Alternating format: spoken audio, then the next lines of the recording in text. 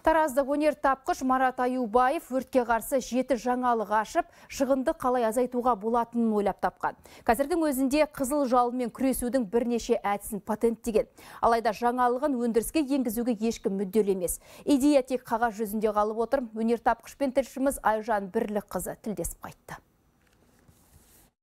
77 жастағы Марат Аюбаев көп салалы өрт машинасын ойлап тапты. Бұл техниканың өзге машиналардан айырмашылығы тілсіз жауды бірнеше тәсілмен ауыздықтай алатындығында. Дәлірек айтқанда аталған көлікте қазандық орнатылған. Бұның көмегімен су буға айналады. Нәтижесінде су үнемделеді. Бұл машина енді физиканың заңына негізделген.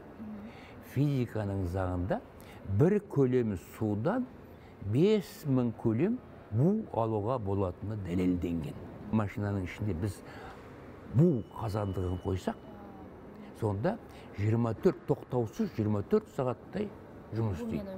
Құрылғыны түрлі салада қолдануға болады. Өнер тапқыштың айтуынша жоба жүзеге асса нағыз техникалық төңкеріс болмақ. Бұл жаңағы медицина айттым ғой. Жаңағы вирустарды өлтіру басқаларды өлтіру жаңағы дезинфекция ә, медицинада.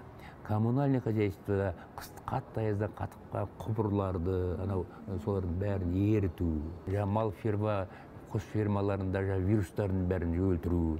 Кене бүрге дейді жаңағы қара құрт дейді бәрін өлтіру ескерткіштердің сыртқы мүсінін тазалау мысалы зданияның тазалау ремонт кезінде жаңағы бәрін тазалап шығу бұл машинаны жаңағы әр түрлі салада пайдалануға болады Марат Аюбаев ширек ғасыр ішінде 30-ға жуық жаңалық ашқан.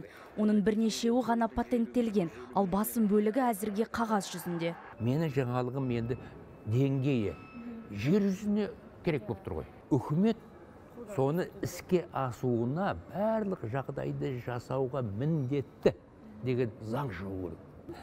Мені қолдаса, неге басқа өнертапқыштарды қолдаса біздің мемлекет ең алдыңғы мемлекеттердің қатарында тұрмай ма құрылғыны жасап іске асыру үшін қомақты қаржы қажет.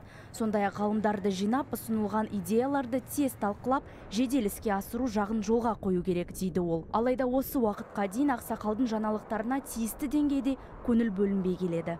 Айжан бірлік қызы болатбек табалдиев хабар 24